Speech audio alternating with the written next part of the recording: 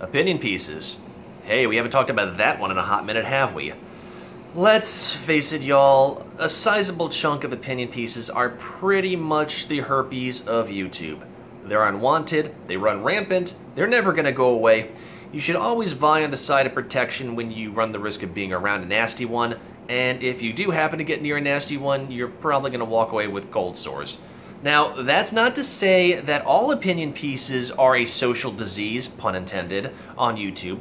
A lot of them are positive opinions. A lot of them are constructive opinions. Um, and a lot of them you also want to just drop kick into the Gulf of Mexico at low tide, or some destructive variant of that.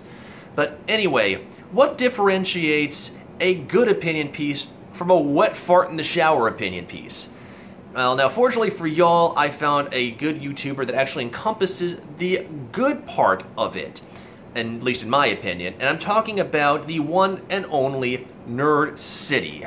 Um, now, Nerd City has been around for over a year now from what I've gathered on my research. Um, I actually first found out about him through um, when I was watching Boyinaband's uh, channel. He was talking about Prince E. Now, if you're blessed enough not to know who Prince E is, he was a rapper turned into a horrible excuse of a motivational speaker and chances are I'm going to get a DMCA strike on my channel just for mentioning that because he takes negative criticism worse than the Cristiano brothers. Yes, I went there. But I digress.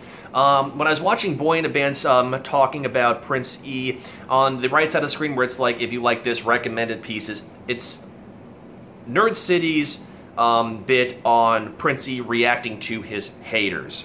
And if it's anything like Boyinaband, I really wanted to check it out. So I watched it and I was hooked from the get-go. And I'm going to talk about that a little bit more. Now, um, from what I've gathered on Nerd City, it started out with some kind of sketch vignettes, comedy, that kind of thing, like Ask the Devil, the Devil Says This. But over the recent times, I would say probably seven, eight months, according to when his videos have posted, um, it's gone more into opinion pieces on some of the more fringier sides of YouTube. Um, obviously, he's done a couple of bits on Prince E, and he's also done a couple of bits on the um, shit stain of YouTube known as DaddyOFive, and he's also done one or two other ones based on other things that he finds very funky. Um, I find Nerd City and the mysterious Dr. Downvote and who is the mad scientist talking about more of the um, opinion pieces, I find it very well done. And here's the main reason why I think he is a good opinion piece writer and content creator. He backs up his claims with sources and research. If you have an opinion on something, think of it like you're writing a paper. You have your thesis. You talk about why you're siding with this or siding against it. And then you have your supporting paragraphs to talk about why you think this. And Nerd City and Dr. Downvote do that to a T. Um, I don't want to just talk, rely entirely on Prince E, even though I think that Nerd City was completely spot on on his bit to Prince E, and it was also, of course, the responding to my haters. I'm just going to talk about different bits and whatnot. Um, now, if he's giving an opinion on something, he is going to actually have clips from you, those YouTubers that he is talking about, i.e. Prince E, um, DaddyOFive, and whoever else, of them talking about to back up his claims. So if he's talking about, for example, clickbaiting, he's going to show clips from those YouTubers talking, uh, basically exemplifying their need to be clickbaity. He'll have posts from social media like Facebook. Um, big example is, once again, Prince E. He actually shows X amount of days and the number of clickbaiting posts on that particular Facebook page to try and encourage growth on YouTube. He's done video clips from those pieces to show, like in DaddyOFive, saying that, you know, they're monsters, and I agree. Uh, DaddyOFive is a complete, you know, diarrhea stain on the wall and needs to be taken out back and beaten with a hose, but that's beside the point. He will show those clips of the kids getting beaten, of the kids being abused. If he's talking about somebody else, he's going to show all those things to back up why he thinks such things. Or he'll talk about news articles. He's done clips from Philip DeFranco and from Boogie2988 to kind of exemplify what he's driving home. And you don't have to agree with his opinion on it, but to so the amount of in-depth research that Nerd City and Dr. Downvote have done to back up their claims shows that he has done the math, that he has done the research to do it. And while I agree with all the things he's talked about, it just drives the point home, in my opinion, that it's done that.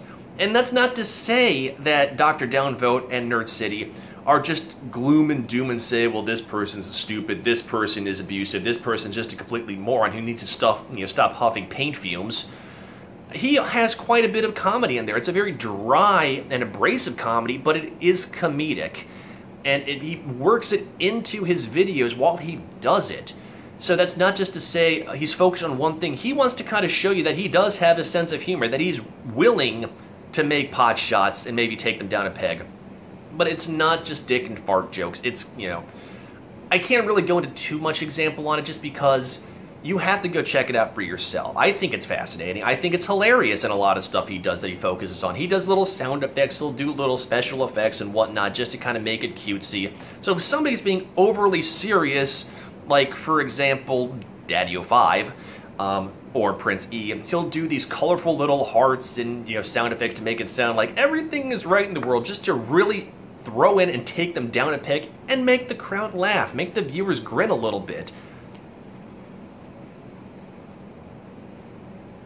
Now, maybe I'm not doing Nerd City justice. Maybe I'm not going into enough detail on that. Maybe you want to have somebody just rant and rave for 5 to 10 minutes straight saying, you know, my opinion matters.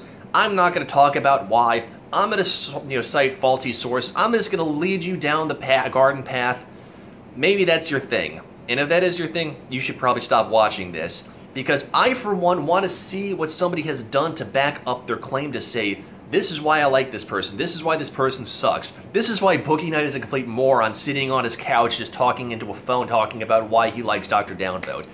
But personally, if you want to see somebody go in depth and talk about something that whether you not you agree with them, like I said, you have to respect that. And you have to understand that it takes a lot of effort to go into a 10 to 15 minute long piece to talk about something fringy, or it doesn't even have to be fringy. It could be pop culture related. It could be like, it could be news related. You could find it on the Washington Post or the Orlando Sentinel or CNN or Fox News or whatever. Having those hard earned facts and having to be able to keep an open mind about it and still being able to joke with people make that opinion piece valuable. Once again, this is all my opinion but you should really go check out his channel. I will put a link in the description below to his YouTube channel and to his Twitter page. So take a few minutes out of your day to check it out for yourself. He, he's got, I'll probably say a little, about a dozen videos. And if you don't like his opinion pieces, check out his older stuff like Ask the Devil. Those are pretty funny too.